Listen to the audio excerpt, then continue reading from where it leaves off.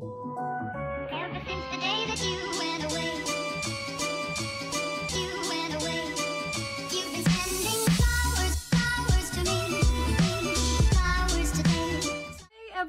Welcome back to my channel. So, it's Liz Culance. Sa mga bago pa po dito, hello, hello! I am Liz Culance.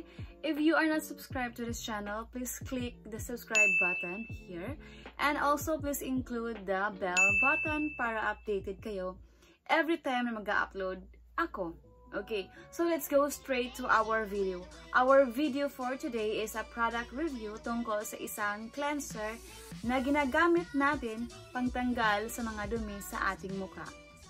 So, if you are interested on this video, please keep on watching. Okay guys, so ang ating ngang video for today is a product review. So, our product is this. Ayan. It's Nevea micellar. I don't know how to really pronounce it. Correct me if I'm wrong. Just comment down below how to pronounce it. It's a skin breath, acne clear, 0% alcohol. So, isa sa mga nagustuhan ko sa product na ito, kaya napabili ako is, kiniklaim niya na 0% alcohol, which is good for our skin. Okay. It has also a 3-in-1 caring cleanser. It deeply removes dirt, oil, and even waterproof makeup for clear, smooth skin. Okay, since naka-makeup ako today, kaya uh, sakto lang na i-review ko ang product na ito. Kagagaling ko lang sa work. So, most of yung mga ginagamit ko dito is uh, waterproof makeup. So, sakto lang na gamitin natin to. Ita-try natin kung hanggang saan yung duming makakuha niya. Okay, so basahin natin ang description sa may likuran. Okay, by the way guys, ang presyo pala ng pagbili ko nito is uh, 165 pesos and it has a 200 ml. Ayan nakalagay dito. So, it's not bad for 165. I know mas marami pang mura doon uh, ng mga product. But, pagpunta ka doon sa Watsons, so ito yung nakuha kong pang uh, cleanser. So, let's try kung ano ang um, uh, resulta ng aking paggamit nito. Okay? So, yung kiniklaim niya na sa likuran is a Nivea Acne Clear 0% micellar water. One of the major ingredients is magnolia bark extract. So, the purpose of this is that to help reduce the chance of acne and clogging of pores, which is good for me. Nagustuhan ko rin siya kasi nga, I am prone into uh, pimple. Makikita nyo dyan sa aking uh, mukha Ayan, may mga pimple marks siya, mga acne marks. Ayan, here, here. This one, this one, and here. Kaya, yung mga ginagamit ko talaga ng mga product is yung mga uh, iwas acne. So, this is good kasi nga, it's acne clear. Okay, so next, it has a pH balance, free of alcohol, paraben, fragrance, silicone, and colorant. It can be used around delicate and sensitive area here and can be used even for sensitive skin and it is non-comedogenic. I don't know how to really pronounce it. Non-comedogenic. okay, application. So, it's normal. We will use a cotton. So, ito yung gamit ko. It's a cotton pads. Ayan yung gamit ko and yeah, let's see kung ano yung uh, feeling ng paggamit nito. Ano ba yung anong pakiramdam ng skin natin. But first, amoyin natin siya kung may amoy ba siya or mabango ba siya whatsoever. Okay. Wala akong maamoy kung ano talaga yung laman niya. It's plain like water talaga yung laman. So, water. So, wala kang maamoy kung ano ba talaga. Okay, so, Ayan yung lalagyan niya. Clear lang. And then, ayan. Okay. Medyo malaki yung butas dito. So, hindi ka mamahi- mahihirapan ah, maglagay ng ah, product nito sa cotton. Okay, so let's get the cotton. So, again guys, yung mga makeup ko today is more on a waterproof ah, ah, makeup siya. So, let's see kung hanggang saan yung makakaya niyang matanggal. Okay. Ayan. So, ayan.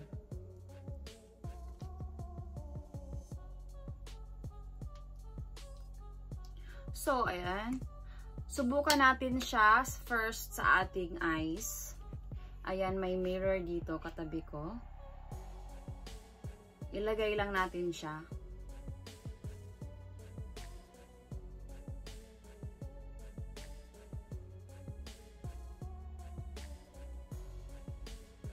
Okay. Ayan, natanggal niya yung eyeliner ko. And, natanggal rin niya sa isang ah, lagay lang yung aking eyeshadow.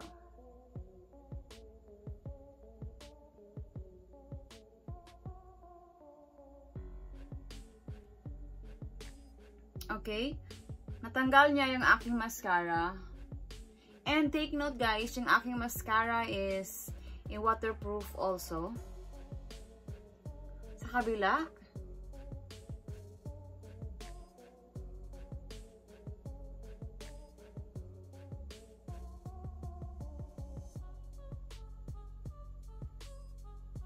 Mhm. Ayan. Eee. Ayan yung makeup ko today. Kung mapapansin nyo, ayan. Natanggal na yung mga eyeshadow ko. So, medyo yung ano na lang natira, yung tawag nito, mascara. Ayan.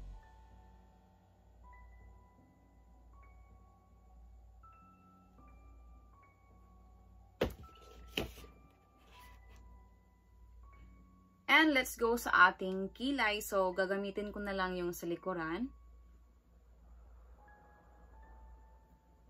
Oh! Ayan. Nawala na yung aking kilay. So, natanggal niya rin within sa isang swipe lang.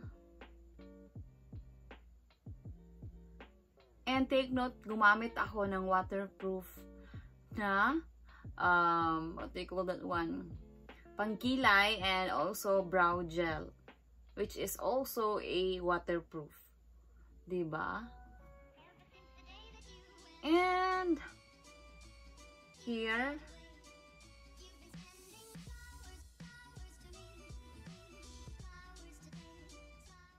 pataas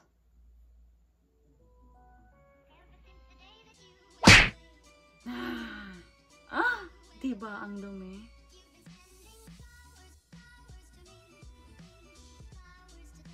So guys, kailangan talaga nating mag-double lens. 'Di ba? So this is my first uh, steps in removing makeup. So later, uh, makikilamos ako. So tingnan natin kung may pagpahid natin yung ating tuwalya, kung may magta-transfer pa ba na product doon sa ating tuwalya or yung ating towel. Okay, but for now, let's continue removing this uh, the product on our face. And here sa noo.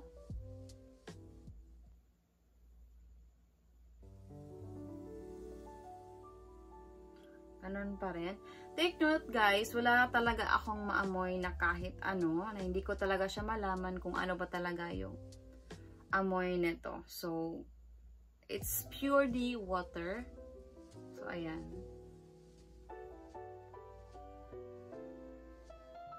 Okay.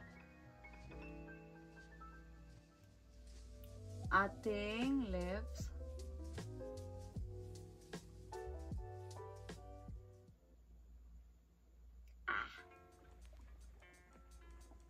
Okay. And sa ating leeg. Since naglalagay talaga ako ng tirang uh, foundation or BB cream sa aking leg. So, yeah. Mhm. Okay? So, ayan. Let's count all the cotton pads na nagamit natin para alisin yung product sa ating mukha. So, ayan. One, two, three, and four. So, nagamit ko a total of four cotton pads and naalis na yung mga products sa ating mukha. It's all clear now and nakita niyo na yung aking hubad na pagmumukha. Ayan. Okay, so nakikita niyo na yung aking mga pimple marks here. Ang dami talaga. So, yun na yung, ito yung mga rason, ito, ito, yung mga rason na gumagamit talaga ako ng mga products na nakokontrol yung paglabas ng aking acne. Okay? So guys, let's uh, wash our face and magbabalik ako and tingnan natin kung may magta-transfer pa ba sa ating towel ng mga products sa ating mukha. Okay? So, I'll be right back. So, ayan guys, tapos na akong maghilamos. At hindi ko hindi talaga ako nagpahid or nag uh, gumamit ng towel para makita niyo talaga na galing ako ng hilamos. And I have this here. Ayan. White towel. And let's see kung may magta-transfer ba na mga product pa din from our face going to the towel. Okay? So, let's go.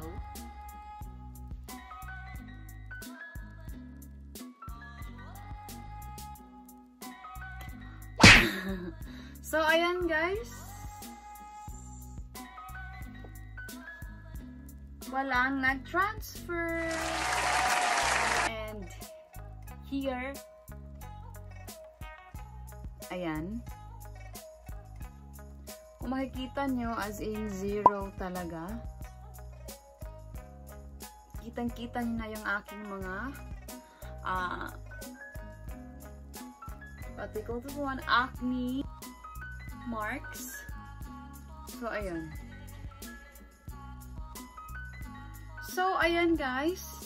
Let's go sa ating judgment, final judgment sa product na ito. Okay. First, the price is 165 for 200 ml. So, for me, it's hindi na siya issue kasi nga marami na din siyang laman. So, wala akong nakita ang ibang product na a cleanser and it serves 3 in 1. Removes dirt and it can remove makeup. And also, it can clean your face. So, I think for me, this is good. For the price of 165 pesos. Medyo yung 200 ml. And, what I also like is that it claims a 0% alcohol. So, purely micellar water. So, that's good for our skin kasi nga, hindi siya harsh sa ating skin. So, may mga products kasi, may mga, may mga toner, mga cleanser, na uh, may mga alcohol silang halo sa kanilang ingredients. Which is, this one is good kasi nga, it's 0%. And what I also like is that, it can clear your acne. So, for me, bilang prone ako sa acne, sa pimples, intended siya for me sa mga skin type na mga kagaya ko, which is uh, prone talaga sa pag pagkakaroon ng uh, pimples. So, yung mga ginagamit ko talaga, sa sinasabi ko na kanina, yung mga ginagamit ko talaga is uh, yung mga product ng mga anti-acne, okay? So, ayun. This is, yung tatlo is good. And, last but not the least is that, kung aamuyin mo siya, wala ka talagang malalaman kung ano ba talaga yung nilagay dito kasi nga wala siyang amoy, hindi mo malalaman talaga. It's purely uh, water. Yung cones lang, yung negative about this product, I think. I don't know. Wala akong makitang negative kasi nga na, na, na, natanggal naman niya yung mga dapat matanggal sa ating mukha. Especially yung makeup ko na mga waterproof, natanggal naman niya. So, wala akong masabing negative about this product. Only positive. And yung mga kiniklaim niya is uh, na-perform naman niya talaga which is good kasi nga kung hindi is medyo sayang naman yung 165 but it works good yung mga kiniklaim niya na-perform niya so for me it's a a recommendable product. What do you think? And for me uh, tatanungin niyo ako if i-recommend ko ba ito sa inyo. Of course i-recommend ko to sa inyo kasi nga na-perform niya talaga yung mga kiniklaim niya. So guys, thank you so much for watching. Uh, if you happen to use this product, and kindly comment down below what are your experiences, kung may uh, nagka-acne ba kayo or what.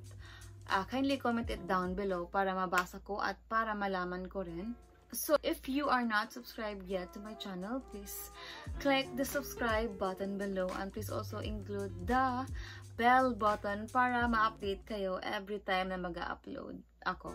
Okay? So, thank you so much guys for watching and I'll see you on my next video.